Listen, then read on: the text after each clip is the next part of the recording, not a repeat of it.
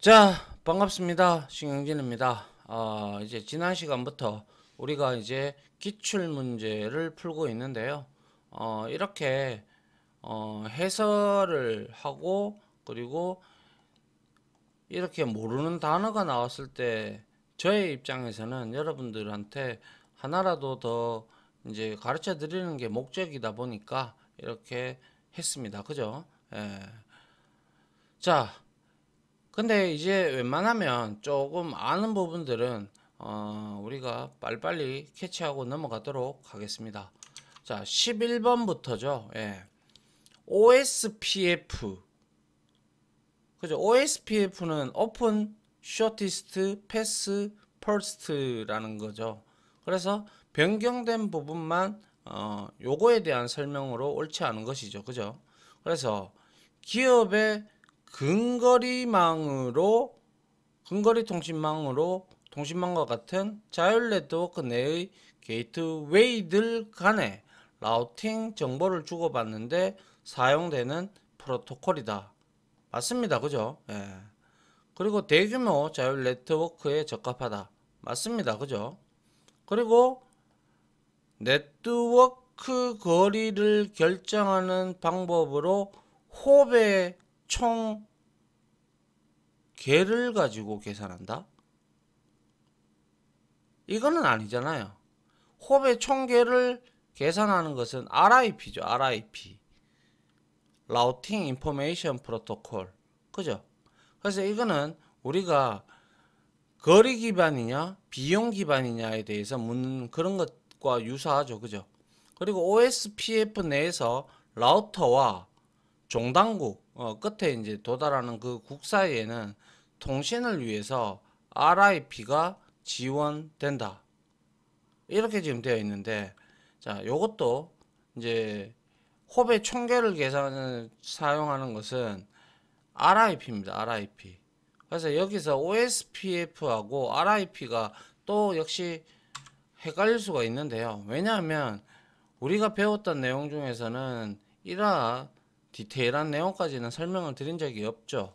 그래서 드린 적도 있는데 여러분들 분명히 까먹었을 거예요. 그죠? 예, RIP. RIP는 뭐예요? 라우팅, 어, 인포메이션, 어, 그리고 프로토콜. 그죠? 이거 다. 그죠? 예, 그래서 여기에다가 여기는 송수신지, 송수신지 간에, 송수신지 간에 거리를 라우터의 개수인 홉으로 홉으로 계산을 하죠. 그리고 나서 30초 이내 어, 새로운 라우팅 정보를 발송함으로 이거는 큰 네트워크 규모가 큰 네트워크에서는 뭐예요? 네트워크가 크기 때문에 네트워크에 뭘 줍니까? 부담을 주죠, 부담. 부담을 줌으로 뭐예요? 어, 이거는 기업의 근거리 통신망과 독립적인 어, 독립적인 소규모 소규모 네트워크에서 주로 사용을 한다라는 거죠. 그런데 OSP, OSPF 이거는 뭐예요? 오픈 그죠? open shortest 그죠? shortest 그리고 path 그리고 first의 약자죠. 그죠? 그래서 이거는 변경된 부분만 어, 부분만 multicast를 하기 때문에 함, 함으로 함으로 RIP보다 뭐예요? 네트워크의 부담이 적겠죠. 네트워크의 부담이 적다.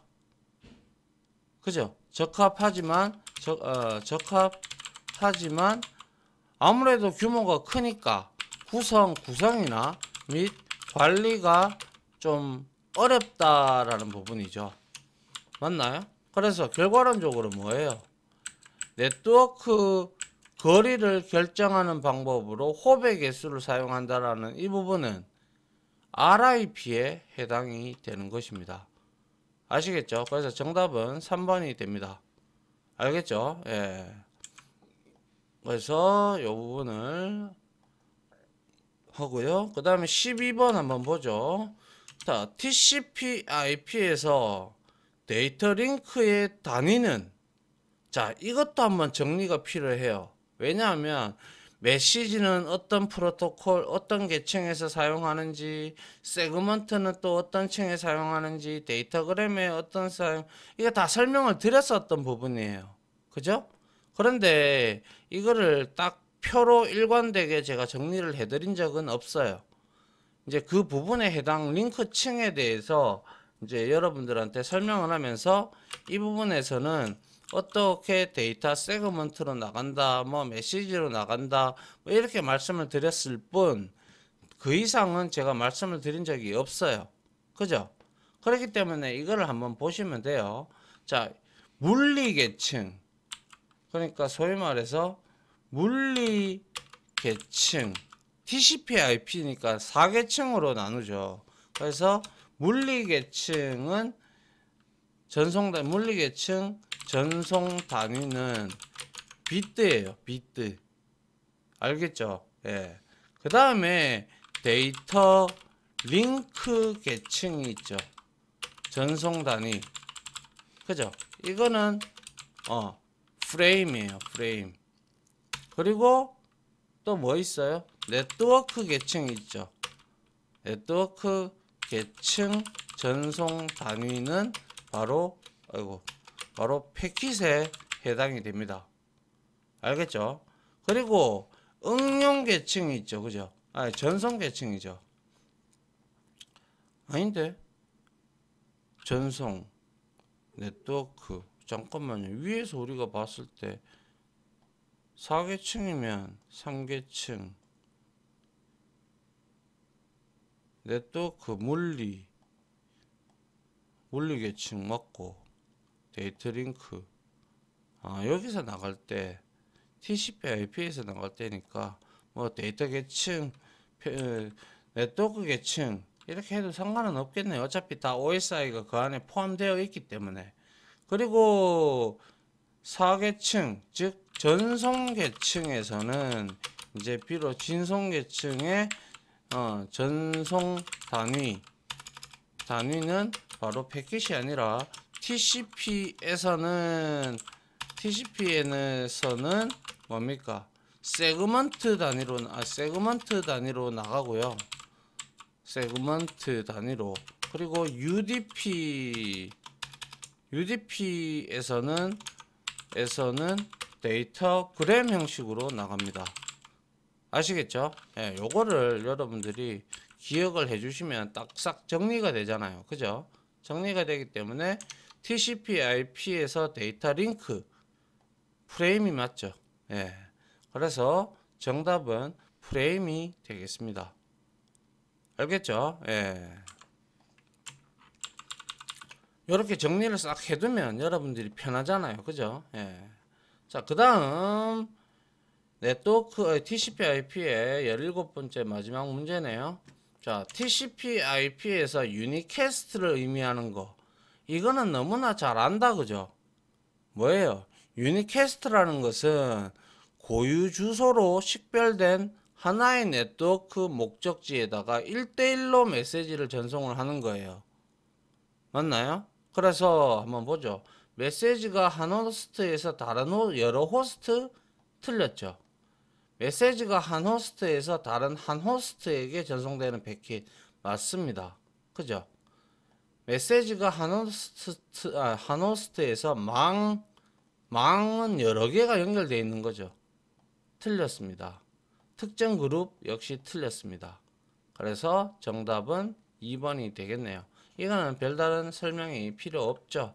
우리가 unicast, multicast, broadcast 이런 것들에 대한 의미를 알고 있기에 이 내용은 어, 우리가 설명할 필요가 없겠네요.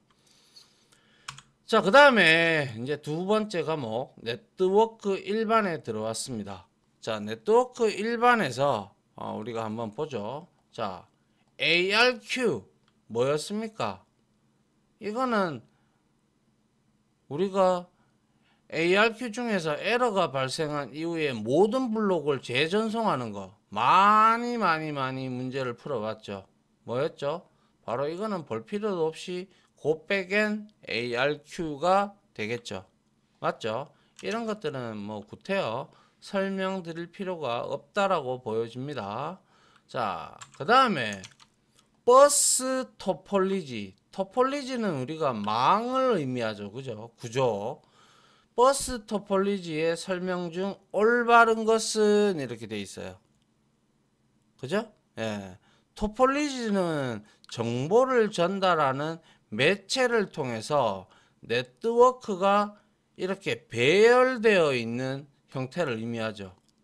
그죠? 예, 그렇기 때문에 문제가 발생한 위치를 파악하기가 쉽다. 버스 토폴리지는 이렇게 생겼잖아요. 이렇게.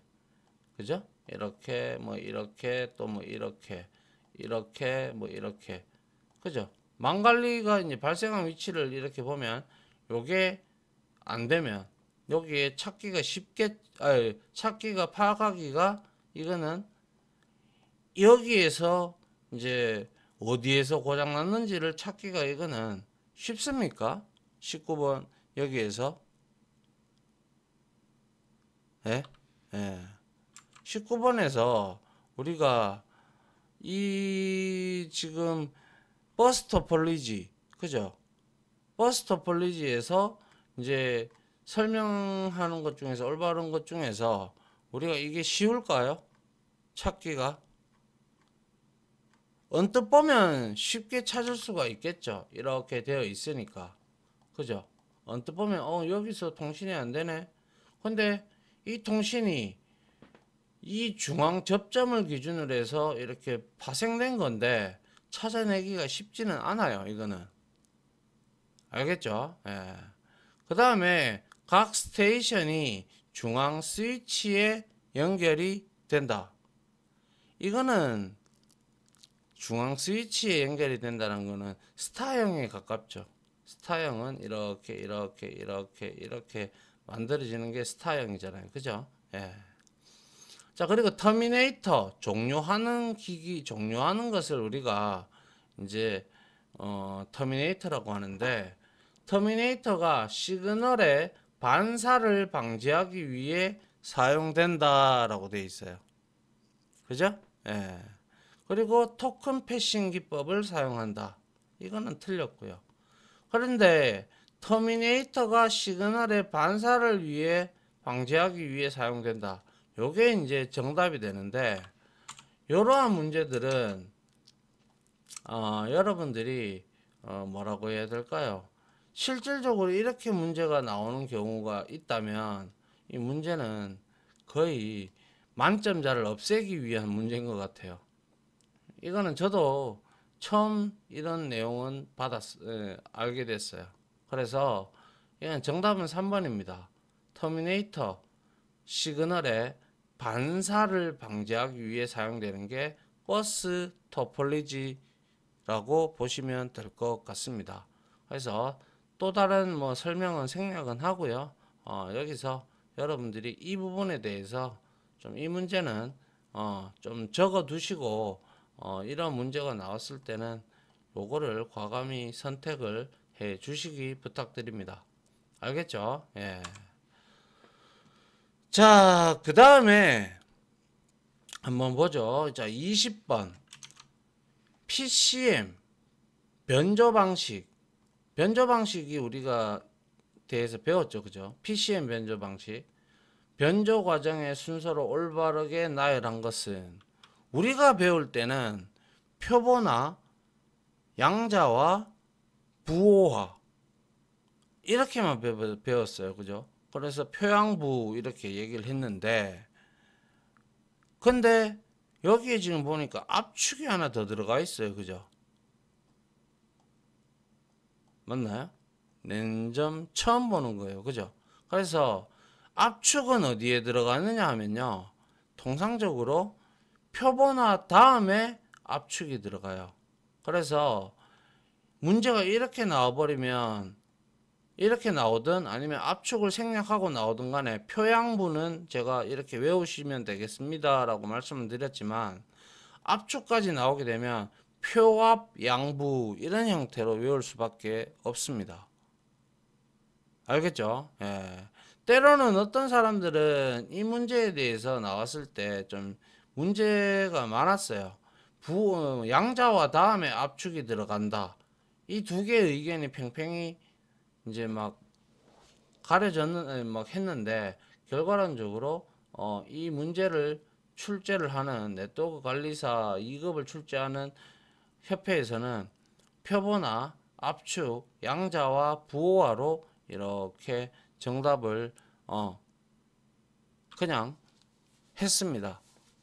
아시겠죠? 그러니까 표, 압, 양, 부 표압 양부로 우리가 표압 양부로 어 외우면 쉽다. 알겠죠? 예, 표압 양부. 아시겠죠? 예. 자, 그 다음 한번 볼게요. 자, 21번. 인접한 개방 시스템 사이에 확실한 데이터 전송 및 전송 에러 제어 기능을 갖고 접속된 기기 사이에 통신을 하고 신뢰도가 낮은 전송로를 신뢰도가 높은 전송로로 바꾸는 데 사용되는 계층은 무엇입니까? 뭐예요? 딱 봐도. 뭐예요? 딱 뭐예요? 딱 봐도. 물리 계층이에요. 얘는 랭카드 의미하는 건데. 그죠? 이건 아니겠다. 그죠? 그 다음 네트워크 계층이에요. 우리가 비트 계층으로 나오는 게 물리 계층이라고 했고요. 데이터 링크 층에서 나오는 게 프레임이라고 했어요. 비트를 프레임 단위로 만들어서 네트워크 계층은 그냥 전송만 하는 거예요. 그리고 전송 계층에서는 뭡니까? 종단 간에 오류나 이런 것들을 수정하고 흐름을 제어하는 그러한 거예요. 데이터 링크는 데이터 링크는 오류도 제어하고 프레임 동기 링크 효율을 효율 상승을 기반으로 해서 오류 없이 신뢰도가 높게끔 어 보내는 방법이에요. 아, 계층이에요. 아시겠어요? 예. 이거는 물리 계층은 물리적 매체로 통한 전송을 의미하죠. 그래서 정답은 딱 봐도 이거는 4번이죠. 예. 아시겠죠? 예. 자, 그 다음은 요거 조금 내릴게요. 예. 그 다음 보죠. 요건 뭐 저 별로 뭐 따로 설명드릴 필요가 없을 것 같고요. 자, A에 들어가는 용어 중에서 옳은 것은 A는 인터넷을 이용하여 고비용의 사설망을 대체하는 효과를 얻는 기술이다. 고비용의 사설망을 대체하는 기술이다. 고비용의 사설망. 사설망이에요. 그죠? 공인 IP가 아니라 아니가 아니고 그죠? 그리고 인터넷망과 인터넷망과 같은 공중망을 사용하여 둘 이상의 네트워크를 안전하게 연결하기 위해서 가상의 터널을 구조를 만들었다. 가상이 나왔어요. 그죠? 그러면 일단 V가 들어가야 되겠다. 그죠? 예. 그래서 그 터널을 만들고 암호화된 데이터를 전송할 수 있도록 구성된 네트워크라고 정의할 수 있으며 공중망 사이에서 구축되는 논리적인 전용망이라고 할 수 있다. 근데 보니까 NAT는 아니죠. public network도 아니에요. 사설망이기 때문에. 그죠? 그러면 VLAN이냐, VPN이냐라는 거죠. VLAN은 뭐예요? V랜은 우리가 가상 사설망이 아니고 이거는 서버가 가상으로 만든 랜을 의미하는 거죠. 공식적으로. 그죠? 근데 VPN은 뭐예요? 얘는 가상 사설망을 의, 어, 의미 를 하는 거예요. 아시겠죠? 그래서 VPN은 VPN VPN은 어 고비용의 뭐예요? 사설망 혹은 어 가상의 터널 가상의 가상 아니 가상의 터널이라고도 합니다. 터널이다. 그래서 여러분들이 이 VPN에 대해서도 좀 잘 알아두시면 좋겠습니다. 많이 쓰는 기술입니다. 한번 어 요런 것들은 여러분들이 검색을 해서 정리를 따로 해 주시면 더더욱 좋겠죠. 자, 그 다음에 다음 아, 제가 여기서 이걸 하나 뺐네요. 잠시만요. 이거를 아, 제가 이걸 왜 뺐죠? 아, 요거가 들어가야 되는데. 예, 죄송합니다. 자, 다음 내용이 나타내는 매체 방식은 이렇게 돼 있어요. 그래서 우리가 뭐 여기에 보니까 토큰 패싱도 있고 뭐 여러 가지가 있다 그죠? 예. 그래서 이것도 한번 봐야 되겠네요. 그죠? 아, 그 전에 요걸 알아보기 전에 제가 요걸 안 적어 드렸네요. VPN의 약자를 설명을 드릴게요. VPN. VPN은 뭐냐면 virtual virtual 어 private private 어 network의 약자입니다. network의 어 network의 약자고요. 이거는 이제 말씀드렸다시피 가상 사설망이라고 말씀을 드렸어요.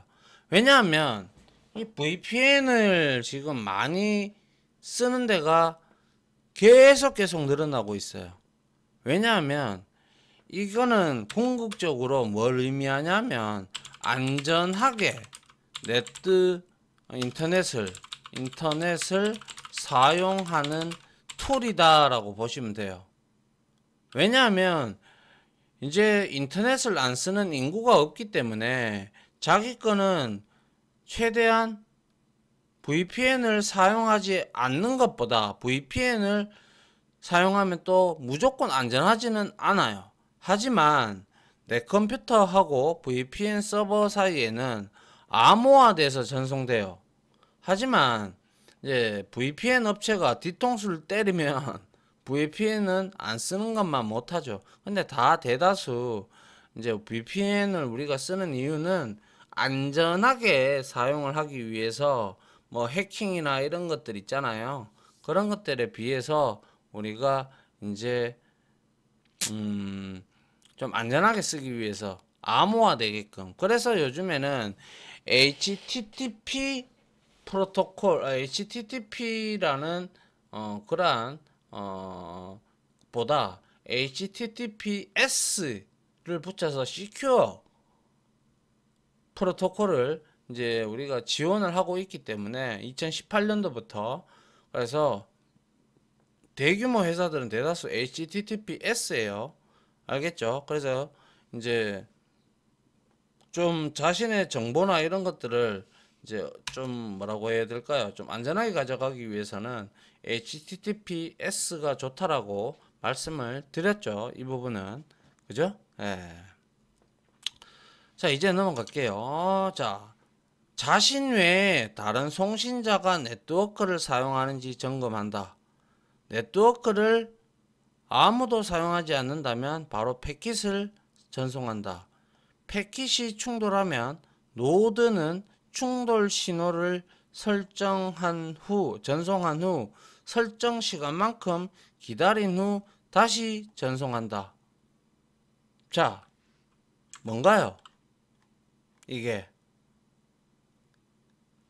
CSMA CD 방식인가요? 어때요? 여러분들이 생각을 할 때 CSMA CD 방식은 뭐죠? carrier, sense, multiple, access 그리고 collision detect detection의 약자죠. 그죠? 그래서 이거는 제가 설명드릴 때 거기에 누가 사용하고 있으면 눈치껏 하라, 전송하라 라고 말씀드렸던 게 바로 CSMA CD예요. 맞나요? 그래서 여기서 이제 정답은 일단 4번이에요. 이거 보십시오. 다 자신 외에 다른 송신자가 네트워크를 사용하는지 일단 체크하는 어, 것을 던져보고 그 다음에 네트워크 사용한다면 기다리고 있고 패킷 충돌이 될 수가 있기 때문에 그렇지 않다면 바로 패킷을 전송을 하면서 눈치껏 얘는 전송을 하는 그런 스타일이에요. 그래서 정답은 얘가 맞고요. 이거 token passing이나 demand priority CSMA 똑같은데 CA가 또 붙은 것들이 있어요. 이런 것들도 시험 문제에 지금 나오고 있는 거기 때문에 설명이 필요하겠다 그죠? 그래서 해설해서 한번 보죠. 먼저 토큰 패싱이 뭔지 한번 보도록 하죠. 자, 토큰 패싱은 뭘까요? 많이 들었잖아요. 그죠?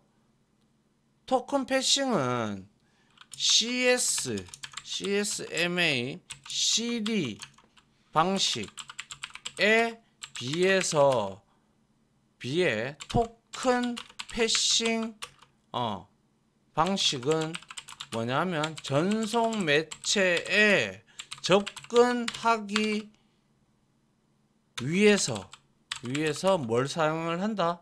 토큰을 사용해요. 토큰. 토큰을 토큰이라는 어, 토큰이라는 특정한 제어 프레임을 사용 합니다. 알겠죠? 그리고 나서 채널이 예를 들어 휴지 그러니까 그냥 멈춰 있거나 아무것도 없을 때 휴지 상태일 때도 때도 마찬가지로 토큰이 토큰이 각 스테이션을 션들을 스테이션 스테이션 스테이션 스테이션들을 스테이션들을 원형 즉 논리적으로는 링이나 아니면 물리적으로 링을 의미하죠. 링이죠, 링. 그죠? 링으로 순차적으로 지나간다. 그래서 이때 혹여 전송할 데이터가 있는 스테이션은 토큰이 자신한테 왔을 때 채널을 통해서 데이터를 전송할 수 있게 되는 방식이에요. 아시겠어요? 네, 그래서 저는 이때 순차적으로 지나가는데 이때 뭡니까? 전송할 데이터가 데이터가 있는 있는 스테이션 스테이션이 스테이션은 토큰이 자신에게 왔을 때 왔을 때 어 뭡니까? 채널을 통하여 데이터를 전송하는 방식입니다. 우리가 token passing에 대해서 들어보기는 했지만 디테일하게 보지는 않았죠. 그죠? 예. 그리고 token passing에는 방식에는 버스 방식, token passing bus, 그죠? 예, token passing bus가 있고, 그리고 어 토큰 뭡니까? token passing bus하고 또 한 개 더 있었는데 뭐였더라? 어 이게 token passing 방식 아 제가 잘못 얘기했네요. 어 아무튼 그렇게 우리가 볼 수가 있겠네요. 자 그리고 token passing에 대해서 설명은 드렸고요. 그리고 자 demand priority라는 게 있죠. 요것도 프로토콜의 일종인데요. 아, 이렇게 어렵게 이렇게 내주면 학생들이 풀겠나요? 그죠? 예, demand priority 프로토콜은요. 이거는 10 Base, 10 Base 다시 T처럼 처럼 허브 망을 허브 망을 허브 망을 아, 망을 어 뭡니까 구성을 합니다. 아시겠어요? 예. 그리고 나서 허브망 구성하고 그리고 스테이션 간에 스테이션 상호 간에 뭡니까 round robin 방식을 사용해요. robin 방식. round robin 방식에 대해서는 설명드렸죠. 방식을 사용한다. 요 정도만 알아두시면 돼요. 크게 많이 나오지는 않으니까. 그리고 이제 CSMA CD가 있고 CA가 있는데 CSMA CD 아니 CA하고 CA부터 한번 보죠. 얘는 CSMA CA 방식은요. 뭐예요? 말 그대로 이것도 똑같이 캐리어 뭐예요? carrier sense 그리고 multiple multiple 그리고 access 하고 뭐예요? collision CD는 디, detection이었잖아요. 근데 이거는 컬리전 하고 어보이던스예요. 어보이던스는 회피라는 뜻이에요. 그죠? 그렇기 때문에 이거는 뭐냐면 OSI OSI 7계층 7계층 7계층에서 7계층에서 데이터 링크 계층 있죠.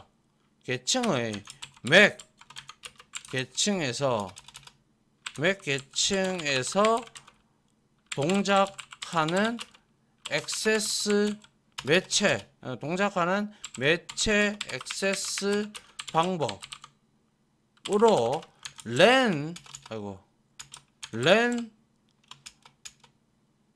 왜 이러죠? A A N 어랜 뭡니까? 랜 뭡니까? 랜 환경에서 랜 환경 환경에서 이거는 사용하는 방법입니다. 그래서 얘는 어 소위 말해서 회선 상태가 어 회선상에 이제 먼저 전 데이터를 전송할 컴퓨터는 회선 상태가 활동 중인지 감지한 다음에 회선이 비어 있는 상태로 감지가 되면 데이터를 전송하기 위해서 회선상에 있는 다른 컴퓨터에게 회선 사용 용도를 사용 의도를 알리는 거예요. 그래서 이러한 방법으로 충돌을 회피한다고 해서 기피한다고 해서 어 우리는 CA 해서 avoidance를 쓰는 거예요. 그래서 다시 말해서 데이터를 전송할 어 컴퓨터가 컴퓨터는 회선 상태가 활동 중인지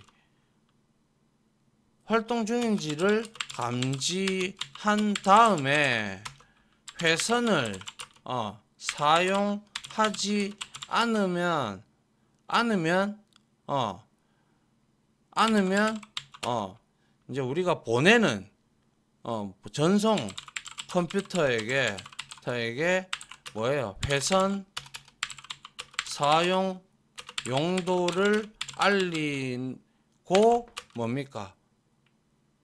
알리기 때문에 비어 있기 때문에 충돌을 충돌을 뭐 어떻게 한다고요?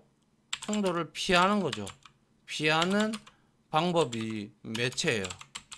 알겠죠? 그런데 그에 비해서 CSMA CD 방식 이거는 다 똑같은데 이렇게 있고 이것도 다 똑같아요. 근데 요거만 틀리죠. 요거는 이렇게 해서 detection이에요. detection. detection. 그죠? detection은 감지하다라는 뜻이죠. 그죠? 얘는 뭐예요?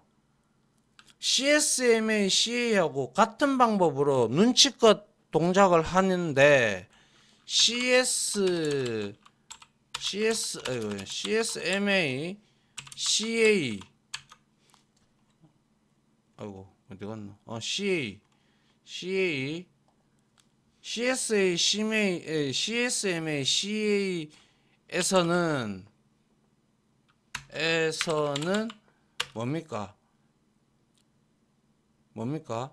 데이터를 전송하기 전에 충돌을 미리 그죠? 충돌을 피하기 위해서 미리 자신의 전송 의도를 전송 컴퓨터에게 보낸다고 했죠.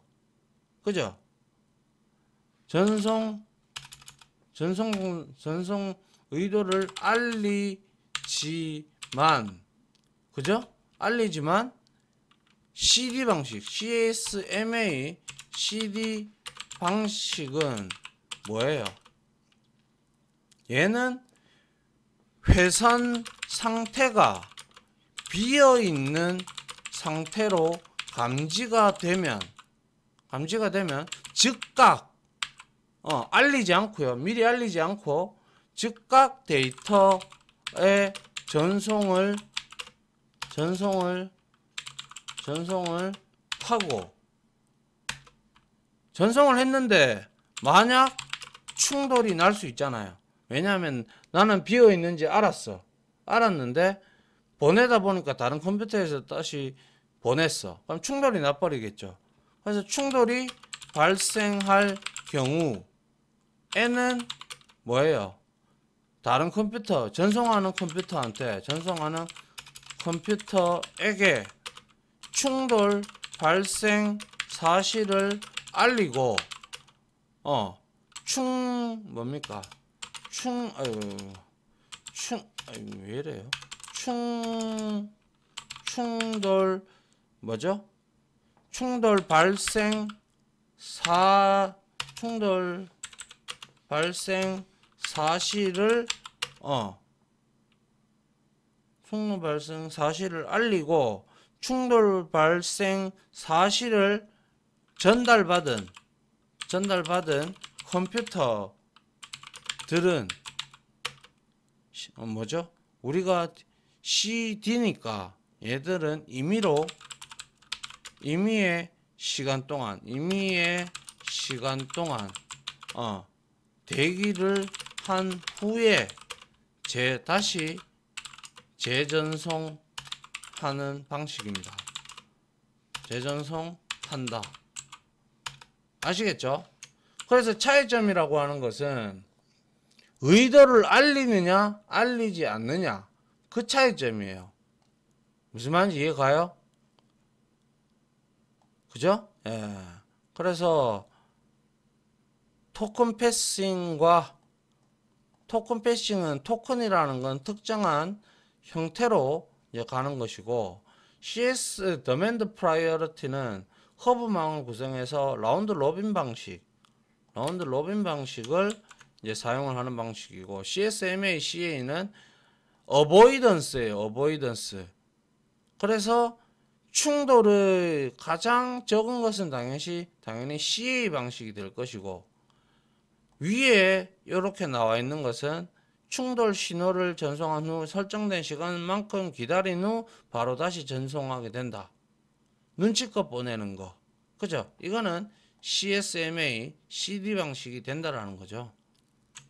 4번이 정답이 되겠네요. 됐습니까? 예, 이렇게 하, 문제가 나오면 물론 이런 것들을 제가 설명을 드려서 그렇지 안 드렸으면 안 드리더라도 설명을 안 드리더라도 뭡니까? 여기에서 헷갈린단 말이에요. 여기에서 그래서 요거 두 개의 차이점은 전송 의도를 보내느냐 안 보내느냐의 차이점인 거예요. 전송받을 컴퓨터가 아시겠죠? 예, 어, 벌써 40분이 넘었네요. 아이고, 씨. 이, 이 보세요. 설명을 하다 보니까 뭐 점차 나아지겠죠.